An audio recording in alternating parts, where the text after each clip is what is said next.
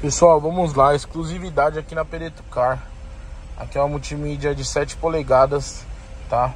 Foi adaptada na moldura original, com acabamento original. Aqui uma Touareg 2012.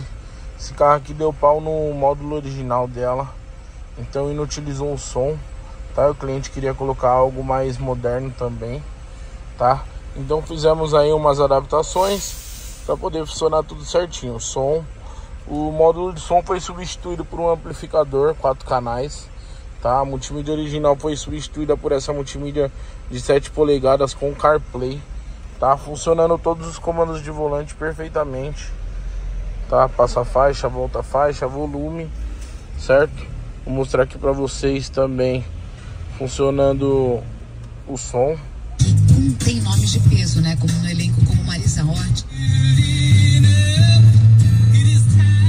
Ela tem um som bem bacana. Só não vou mostrar no CarPlay para vocês, porque senão vai cortar o vídeo, tá? Algo bem legal também, esses botões não ficaram funcionais, porém adaptamos a iluminação dele e ela tá funcionando juntamente com o original, tá?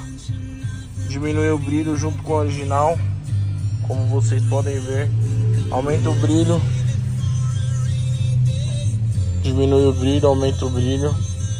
E o carro não perdeu as funções do computador de bordo aqui na, na no próprio no próprio computador de bordo do carro, tá? Então manteve tudo certinho.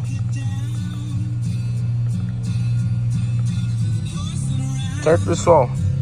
É isso aí. Você que precisa de uma adaptação como essa, precisa fazer funcionar aí um sonzinho na sua Touareg, tá?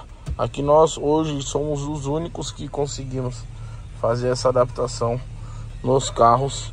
Aqui a gente usou uma interface por enquanto, mas nas próximas vezes aí vamos tentar fazer com a caixinha Cambox para as funções do computador de bordo passar na multimídia. Ah, lembrando também, câmera de ré original, engatou, é que o porta-mala tá aberto, ela entra, desengatou, ela sai. Certo, pessoal? É isso aí. Você que precisa de uma adaptação como essa, corre aqui pra gente, corre pra Pereto Car. Valeu!